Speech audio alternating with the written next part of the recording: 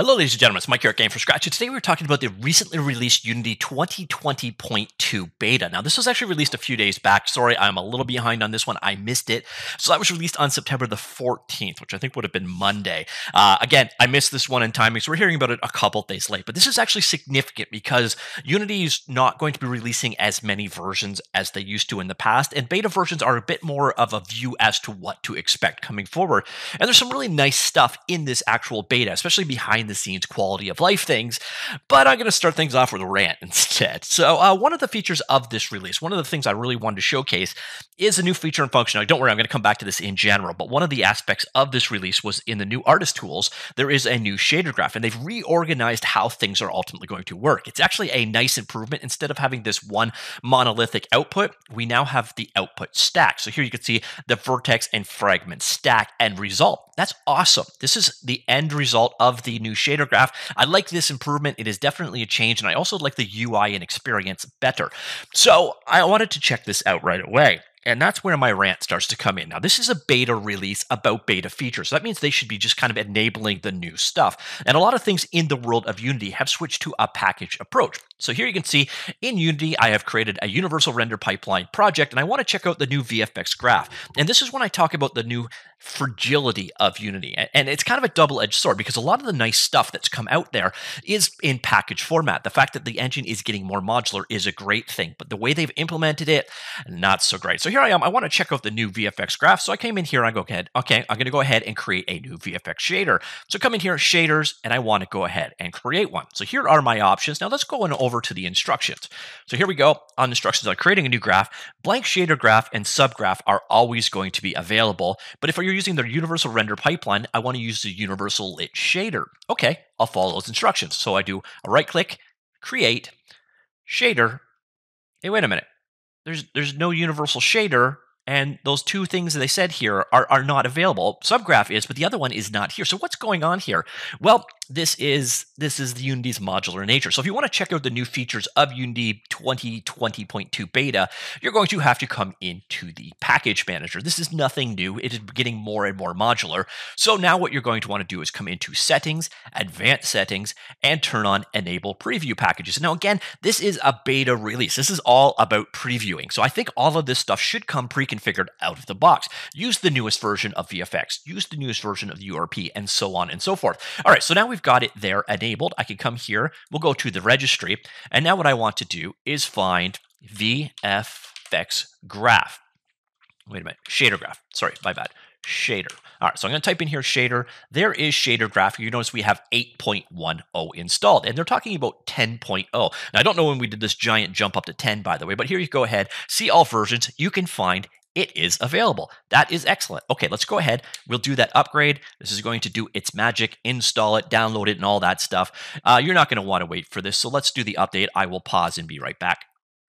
Okay, so that is done. I have the new VFX graph, shader graph stuff in. Sorry, VFX graph was also updated, but I'm talking about shader graph here. I've got the newest one. We are good to go. Awesome. Let's go check that out now. So right here, create shader. Hey, wait a minute here. Where Where's my graph? Okay, I'll just create one of these instead. Let's open that up. Oh, what the heck? Uh, it's just broken. I can't open a shader at all. That's not good. Okay, I'm really confused now. Let's go into the Google land. Oh, look, we've got errors. Great. All right. Uh, something's wrong. Now, of course, when you add a new package in the world of Unity, the number one thing you're going to want to do is restart. And that's what I'm going to do right now. I will pause, be right back. Okay, we are back. Excellent. So you see up here, we now have preview packages in use. We are good to go. Let's go ahead and create us a shader. So we go here, create shader. Uh, uh, oh, blank shows up now. That's good. Where's my universe? Okay, let's try and create a blank one. Let's load that up. All right, so what are we going to get here? Well, the good news is we have output here. We have what we need here. The problem is we're not going to be able to use anything yet because we also need to install the UWRP, which is also in beta. So let's head on back over here. Let's go to the package manager. There's nothing to say. So, so far we've seen it completely broke my ability to open shaders unless I reopened it. And the shaders don't effectively work unless I come in here and go universal. Now, if these things are dependent on each other, why is it going to be from 8.10 and I need to manually upgrade that package as well up to 10.0? Just do it. If I say I want to go to 10.0 or the newest packages, whatever, just do it. Or even more importantly, frankly, again, this is a beta release. Turn this stuff on. Show us all of the beta features configured out of the box. So once you do this process, by the way, restart one more time. Ultimately, we do end up here and we do end up with a tool that works and a tool that is definitely an improvement. I do like where they went with the shader graph rant aside. So they've got to get this fragility down. And if you're going to release a beta with new features, enable those features out of the box, or at the very, very least, please please just put instructions right in the release notes because people coming in here going okay why does why does my screen not look at all like this why is this menu option completely missing well that's because you, your versions don't match and this this mix and match hell that unity is creating is not uh, a, great thing so anyways rant aside, let's take a look at what is actually new in the 2020 release. And there's some, as I mentioned right off the hop, there's some really nice stuff here, and it's behind the scenes for the programmer in a lot of cases. So um, Roslyn uh, reference assemblies and compilation to avoid unnecessary recompilation. Roslyn being the, I believe it was the open source C sharp uh, compiler from um, uh, Microsoft originally. Uh, on the topic of C Sharp, we've also got C Sharp 8 support in 2020.2, which is definitely nice. I'm so used to C Sharp 4.5 that we were stuck at for like five years. It's nice to see we've moved beyond that. Um, IL2CPP improvements there. It won't generate things unless stuff actually changes, and the compilation process is faster. Delta time is better across all different platforms, more reliable. Another one that's really nice goes along with my little rant there. If you do have breakages, so when you load a project and something breaks, there is now a new safe mode, which should help you troubleshoot what your problems actually are, and you can exit out of safe mode after the fact. That is definitely a godsend, especially until they get this uh, tool chain fragility under control. Uh, we got some improvements improvements in the profiling side of things. Uh, we've got uh, editor workflow. This is nice. Uh, it's a localization package. You're going to see this as a commonality what they've done here in the package manager. And this is something they added somewhat recently. By the way, if you weren't paying attention to the channel, you may also notice dark mode is available. Yep, every version of Unity past the current LTS version 2019 point, I think it is three, uh, has dark mode as an option, which is definitely a sweet thing for many people. But you come up here, you go Windows, and you go to Package Manager. You will now find you can actually also add packages. Over here, click the little plus sign from Git. And what we're going to find is a lot of the new packages they have here, you actually just enter a URL. So if you want to check out the new localization tools, which are cool, gives you the ability to localize your UI work for multiple different environments, different languages, etc. You can add that using com.unity.localization git URL. Um, we've got a couple of other things like that as well. So uh, that's definitely nice. Uh, some some minor improvements across the board that we can see here. Quick search too got some improvements as well. So searching is no longer limited to the open scene. It is now possible to search through all scenes and prefabs in your project at once. That is definitely an improvement there. Uh, a lot of quality of life improvements throughout the editor. Smaller stuff we're not going to really get into in details here. As I mentioned earlier on, artist tools improvements. We have jumped to 10.0, which is insane because the stuff just got production ready. Uh, but Shader Graph 10.0, as we saw, now has the master stack output as opposed to a single monolithic um, endpoint. You saw how to set it up. Uh, VFX Graph also got some changes and improvements here. Um, so the nicest one being the addition of output events that allows you to synchronize lights, sound, physical reactions, or even into your own code via spawn events and delegates into C Sharp. Uh, so that's going to really give you a lot of options of what you can do with your VFX graph stuff.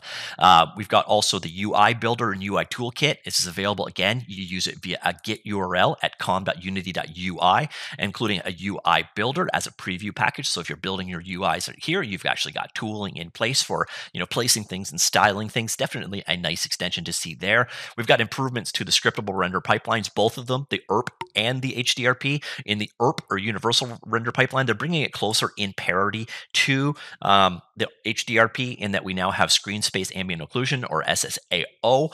Uh, we've also got uh, let's see URP lit shaders, how the ability to uh, surface input such as detail, detail normal. Plus, we've got URP now supporting clear coat maps. If you're going to do something like uh, car paint, that kind of effect, you could do those things now in the URP as well as the HDRP.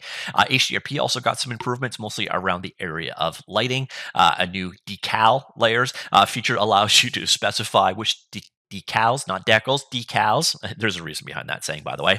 Uh, affect uh, which materials on a layer by layer basis. Path tracing supports fog absorption and subsurface scattering. Uh, so some improvements definitely to the HDRP. We've got improvements in the 2D tooling side of things, streamlined menus. So your 2D menus uh, now have much cleaner uh, breakdown. We've also got some nice 2D default assets, including new 2D, 2D game objects were represented by small pixel sprites that users had to change to make game objects usable. Now you can pick from among a variety of 2D game objects with primitive shapes that will also match their Collider 2D shapes.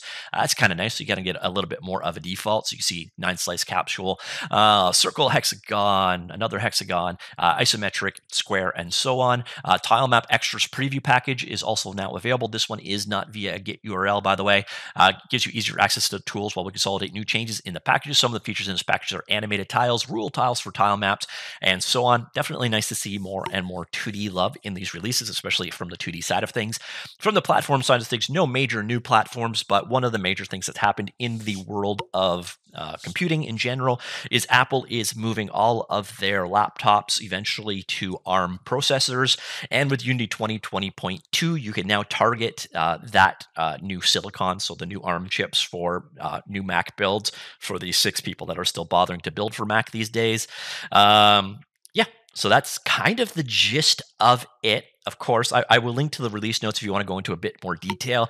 Uh, I sorry I started this actually off with a bit of a rant, but I have to say this. I wanted to get in and just check this stuff out, and I know what I'm doing. I know my way around these tools, and to go through like 20 minutes of screwing around to just get to the point where I can test new stuff in something that is a beta release to start with, that is just so frustrating. Especially because if there is a dependency between two two things, just give me say, let me update to the 10.0 version of everything great and just do it.